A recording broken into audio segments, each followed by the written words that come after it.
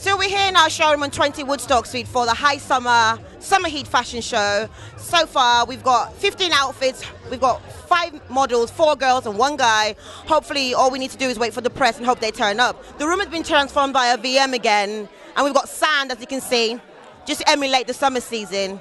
I'm sure we're all in for a good day. I hope you're looking, boy.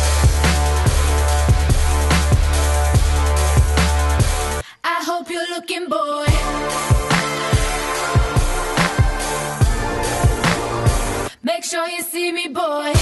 They say that in life, every man in power has got a strong wife.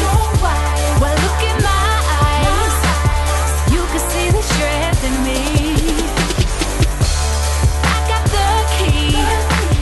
Let me Enjoy the show. I did. It was lovely as ever. My favourite piece was the um, bikini, the 50s bikini with that gorgeous pearl, Pearl belt. belt. Yeah, really, yeah, really nice. yeah. Like that. I like the high waisted bikini, it was amazing. Um, and yeah, that was my favourite by far, I love it. Just look and you'll see every bit of strength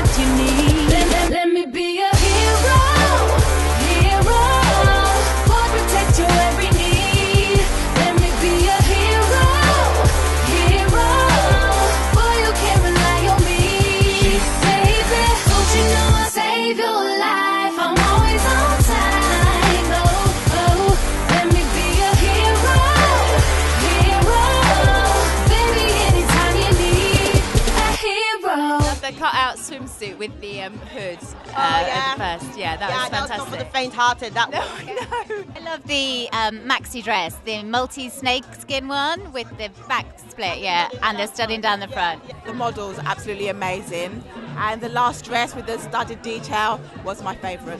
TJ, what was your favourite bit of the show? Uh, the maxi dress and the male model, probably.